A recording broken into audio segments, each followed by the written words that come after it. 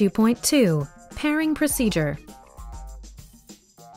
The AnyDana i application connects to the insulin pump using a Bluetooth connection.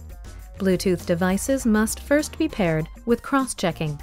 Follow this process to pair devices for the first time. Open AnyDana i on the iOS device. Press Search Device from the initial screen. From Device List, select the pump serial number you want to connect. Select Yes to request the passcode. Press OK on the pump screen to confirm pairing. Within the password screen, enter the four-digit password.